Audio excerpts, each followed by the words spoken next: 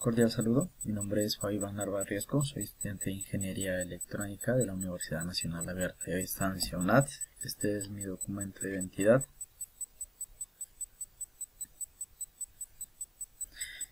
Eh, esta actividad pertenece a la tarea 1, etapa 2, listo, del curso Sistemas Dinámicos, listo, en la cual a nosotros nos solicitan eh, realizar la sustentación de una actividad, de un, de un video, de un ejercicio.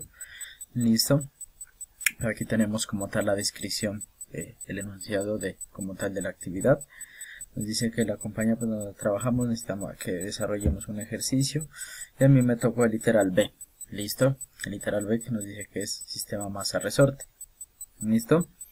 El enunciado dice lo siguiente, uno de los sistemas que garantiza el desplazamiento del equipo está conformado por un sistema masa resorte amortiguador, montando a un carro sin masa como se muestra en la siguiente figura. Listo, aquí con base a esta figura tenemos que realizar como tal pues eh, nuestro sistema. Tanto sacar las ecuaciones diferenciales que necesitamos, como de igual manera de ahí vamos a sacar como tal, eh, hacer la simulación en el software MATLAB. ¿Listo?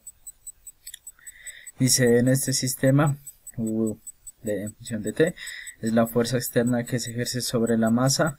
Y aquí pues como tal nos están dando los datos, nos dan el valor de la masa, nos dan eh, la constante del resorte y la de viscosidad, listo, aquí como tenemos eh, nos dicen como tal pues que la constante K va a ser el primer dígito de su número de documento de identidad, B va a ser el número de grupo colaborativo, y la masa, o de viscosidad y masa, va a ser el cuarto dígito del documento de, identidad en kilogramos, ¿listo? Recordando pues que mi documento de identidad empieza en 1, el cuarto dígito es como tal número 4, que es 1004, ¿listo? El número de grupo pues va a ser el 55, ¿listo? Para el desarrollo de la parte teórica, el desarrollo de la parte teórica, nos dice que vamos a utilizar la segunda ley de Newton, la cual nos dice que masa por aceleración va a ser igual a la sumatoria de fuerzas. ¿Listo? Reemplazamos los datos tal como solicita la guía. Aquí como ya dije anteriormente estos son mis datos. Y tenemos la siguiente ecuación diferencial. ¿Listo? Que donde nos dice que la masa por la masa por aceleración es igual a la sumatoria de fuerzas. Y aquí como tal pues empezamos a realizar con base a nuestro a nuestro gráfico empezamos a realizar como tal pues la, parte que nos toca de las de las fuerzas. Listo. Aquí realizamos las operaciones de dentro de los paréntesis y tenemos que aquí haciendo pues ya como tal las operaciones empezamos a realizar como tal nuestra nuestra ecuación diferencial listo aquí pasamos eh, como tal los términos que son semejantes o que tienen en, términos de y y de acá. Dejamos los términos en eh, de los términos de listo. Para el punto 3 vemos que el sistema no requiere linealización, como dice en el punto 3 de la guía, nos solicita que si tiene linealización, no tiene, esto se debe a que no tiene ni radicales ni exponenciales, listo. Para el punto 4, el diagrama MATLAB, aquí ya tenemos como tal esta ecuación, que es 4 eh, y prima más eh, igual a 55, aquí reemplazamos ya como tal los valores, como ya hemos dicho, aquí reemplazamos los valores. Vamos a reemplazar los valores como tal. Aquí reemplazamos los valores, los valores y despejamos y prima prima. Listo. y prima prima va a ser igual a y todo esto pues como el 4 está multiplicando pasaría a dividir. Listo. Y para el desarrollo modular utilizamos eh, esta ecuación. Listo. Aquí pues como tal nos dice que generar en el diagrama de bloques que representa el modelo matemático, la linealización del sistema. He seleccionado teniendo en cuenta que una vez hayan transcurrido los primeros 5 segundos, el sistema recibe una señal de perturbación que altere eh, en una unidad la señal de entrada, aumentando así su valor. ¿Listo? ¿Qué nos quiere decir eso?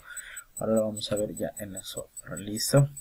Aquí tenemos como tal eh, la gráfica y acá tenemos el diagrama de bloques. Listo, pasamos a MATLAB. Tenemos por acá. Listo. Estamos en MATLAB. Listo.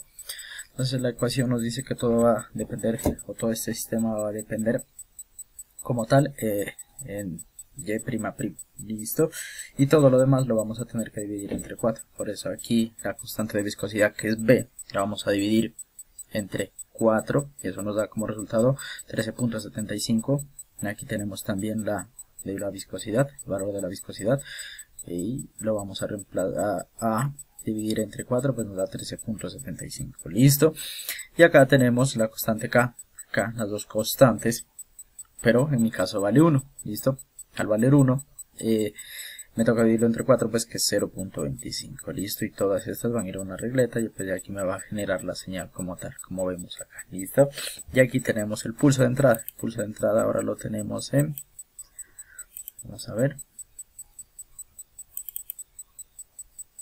lo tenemos en 0, listo, bueno, vamos a ver qué pasa aquí, vamos acá, damos doble clic, y ponemos a funcionar el programa. Listo, al ponerlo a funcionar le damos que cargue, compile. Listo, vemos que aquí la gráfica, como vemos aquí esta gráfica, miremos esta gráfica, tiende a ir en aumento. Listo, ¿esto a qué se debe? Resulta y pasa que la constante de viscosidad es mucho más, más alta, mucho más elevada y mi constante pues como tal eh, la constante del resorte es muy mínima listo. Entonces eso hace que no haya una oscilación. Listo. Ejemplo sería distinto si cambiásemos como tal los valores. Ahora vemos que cambiando los valores si me genera como tal eh, eh, lo que estamos buscando la, perturbación. Listo. Ahora vemos listo qué pasa no aquí ya cambiamos los valores por así decirlo. Listo. Entonces aquí ya cambiamos los valores. Por ejemplo, se podría decir que aquí invertimos los valores. Si para mí hubiese sido un valor más alto como tal, el de la constante K, que es la del resorte, entonces si tuviera yo como tal esa, esa gráfica de oscilación. ¿Listo? Ahora le damos run, probamos, ¿cierto que sí? Probamos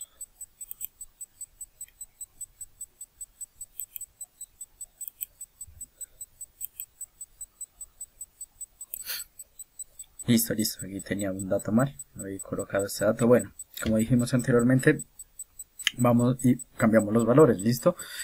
Eso quiere decir que ya ahora en B eh, tendría pues un valor de 1 que era dividido entre 4, 0,25, listo. Y en la constante K ya hubiera sido 55 dividido entre, entre 4 que me da 13.75. Si realizamos esta gráfica, listo, si realizamos como tal y le, damos eh, correr, vemos lo siguiente. Acá le damos correr. Aquí está. Listo. ¿qué pasó aquí? ¿qué vimos? lo que, lo que les decía, listo. A nosotros al tener un cambio en esta variable, la variable de viscosidad, listo disminuir la viscosidad y aumentar la K que es la constante de mi resorte obviamente aquí voy a tener eh, la oscilación, listo, vemos que aumenta, que aumenta y tiende pues a emparejar. Acá, listo. Aquí qué pasa, vamos a cambiar, aquí cambiemos el pulso como me dice y que le vamos a poner 5, listo, damos ok. Y volvemos otra vez a correr, corremos y vemos, listo. Aquí, aquí podemos poner esta gráfica, acercamos, listo, listo.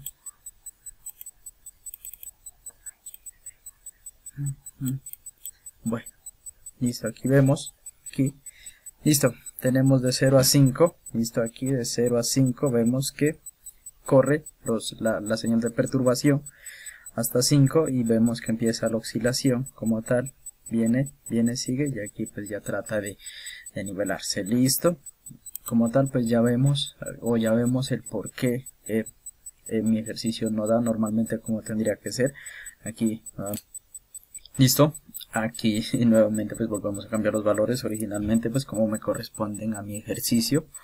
Y obviamente pues en mi ejercicio corresponden estos valores que pues es lo, el de viscosidad, el valor de viscosidad que me da, y eso dividido entre 4 pues me da, 13.75, listo, aquí vemos ya eh, que tenemos nosotros el, el, pulso corrido eh, los, a los 5 y aquí volvemos a dar run corremos listo.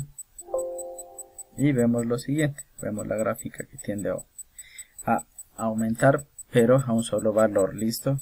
Aquí vemos la gráfica como va ¿sí? y eso pues ya como dijimos anteriormente al inicio del video a qué se debe se debe a mi constante de resorte que es muy baja listo. Y mi constante como tal la, la que me dan el valor de viscosidad es muy alto y eso hace que no haya una oscilación listo. Eso sería todo. Muchísimas gracias